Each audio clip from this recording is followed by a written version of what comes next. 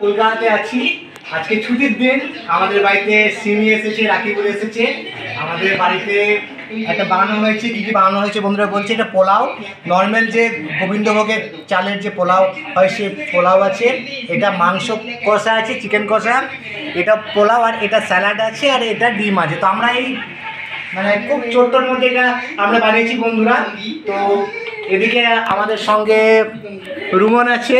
রুমন একটু হাই বলে দাও। তো আজকে আমরা আজকে আমরা এখানে সবাই ফুড ব্লগ করছি সবাই খাচ্ছি বন্ধুরা। তো আমাদের এই ব্লগটা যদি ভালো লেগে থাকে অবশ্যই লাইক করবে। পরবর্তীকালে আমরা আরও অনেক ব্লগ দেব। তো আজকের আমাদের এই সব আইটেমগুলো হয়েছে বন্ধুরা যেগুলো দেখলে।